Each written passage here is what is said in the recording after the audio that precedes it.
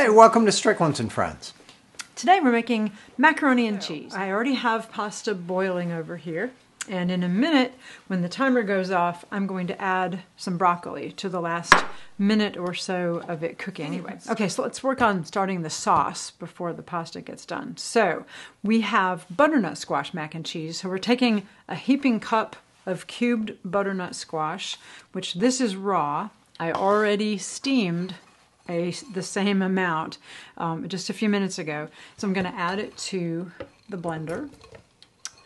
And then I'm also adding in a third of a cup of cashews. These are raw cashews that have been, you could soak them for several hours, you could boil them for like 10 minutes, and then drain them, same thing. So, and then we have one and a half cups of non-dairy milk to that. Okay, so we have two tablespoons of arrowroot powder. So that's two tablespoons. And then one teaspoon of garlic powder and a half a teaspoon of sea salt, iodized sea salt. You don't have to use salt if you're on a low sodium diet. You can leave that out. And we have a third of a cup of nutritional yeast.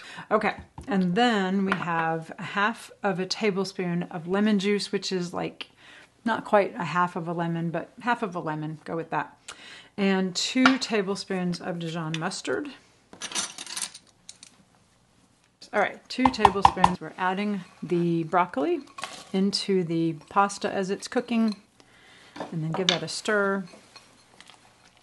And we're just gonna go for one minute on that. There we go. And then that's good. Just let it cook. And then while that's cooking, I'm going to go ahead and whirl up the cheese sauce. Okay. There we go. All right, so we're draining this. And then while that sits in the sink draining over there, we're going to add this into the pot and let it cook a little bit to thicken up. Is it getting thicker? Yeah. Oh, good. Okay, so we can add the, we'll go ahead and add the drained pasta and broccoli back into it. Definitely want to get all that water out so it doesn't thin your sauce out too much. How does that look? Well, it's coated for sure. Ooh, yum yum. So enjoy your mac and cheese.